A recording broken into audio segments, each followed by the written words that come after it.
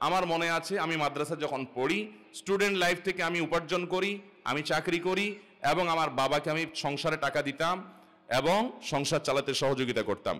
আমি আমার কথা আপনাদেরকে বলেছি, ছয়শত টাকা বেতনের চাকরি করেছি আমি ছাত্র জীবনে। এবং ওই ছয়শত টাকা পরিপূর্ণ আমার বাবার সংসারে দিয়েছি। বাবা অনেক বড় ব্যবসায়ী ছিলেন, একটা সময় ধরা খাইয়েছেন সব ব্যবসা বাণিজ্য লসে পড়ে ভয়ঙ্কর একটা অবস্থা চলে গেছেন। আমি যশোর যুব প্রশিক্ষণ কেন্দ্রে, কোথা চাকরির নাম সহ বললাম, যশোর যুব প্রশিক্ষণ কেন্দ্রে মসজিদে ইমামতি করে বাবার সংসারে, টাকা দিয়ে পড়ালেখা করেছি। কই, আমরা খারাপ ছাত্র হই নাই তো? কই, আমার পড়ালেখাতে কোনো অসুবিধা হয় নাই? সারা বাংলাদেশের মাদ্রাসা বোর্ডের অধীনে ten stand third stand second stand এগুলো করার সুযোগ আমার হয়েছে। আমি চাকরি করে, পড়ালেখা করে আবার ভালো রেজাল্টও করেছি।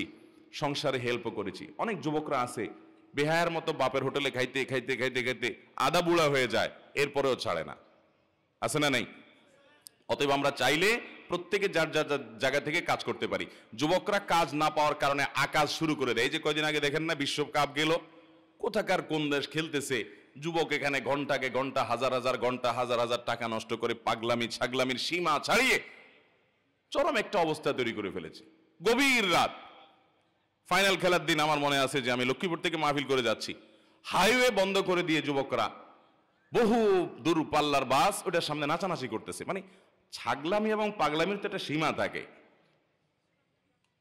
এটা কোন পাগলামি রে বাবা? এটা কোন পাগলামি?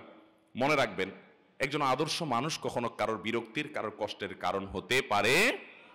এদেশের সবচেয়ে বড় সমস্যাগুলো একটা হলো বেকারত্ব বেকারত্ব। আমার খুব পছন্দের একজন লেখক আছে, আলেম। ওনার একটা লেখা আমি পড়েছি, আমার অসাধারণ লেগেছে। উনি লিখেছেন যে আমাদের এই দেশের যত সমস্যা, যত আকাম, কুকাম, যত সন্ত্রাসী, যত ফাইজলামতি, পাগলামি, ছাগলামি হয়, এই সবগুলার গোড়ার কথা হলো বেকারত্ব, কাজ নাই এগুলার। সবগুলার ধরে ধরে যে কাজে লাগাই দেওয়া হতো, দেখবেন যে সব সোজা হয়ে যেত। যুবকগুলোর ধরে বিয়ে করে দিতে হবে আর কাজে লাগাই দিতে হবে, দেখবেন সব সোজা হয়ে গেছে। দেখছেন? ঠিক বলে উঠতেছে পোলাপান। মুরব্বী তাদের বিয়ে সাথে দিবেন সময় মতো। না হলে গোটা সমাজ ধ্বংস হয়ে যাবে, হাসির কথা নয়।